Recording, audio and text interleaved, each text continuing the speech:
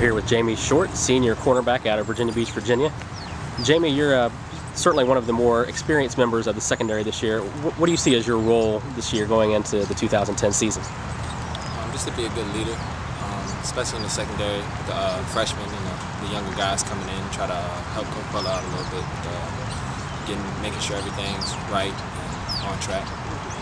All right, now the secondary certainly has turned out a lot of great players at Norfolk State in recent years. Uh, Don Carey and Terrell Whitehead both uh, have had their time in the NFL so far.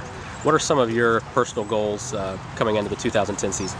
That's definitely a personal goal. It's been a personal goal since I was little to play in the NFL. But um, I'm really kind of trying to focus on um, focus on the season, having a good season, you know, taking my team, winning the MEAC championship, and uh, letting that take care of itself.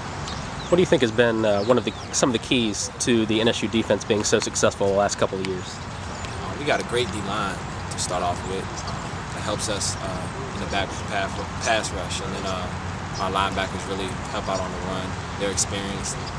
They get to the ball fast, and uh, we're back there on the pass. So. Now, the Spartans open up the season in two weeks against Rutgers up in New Jersey.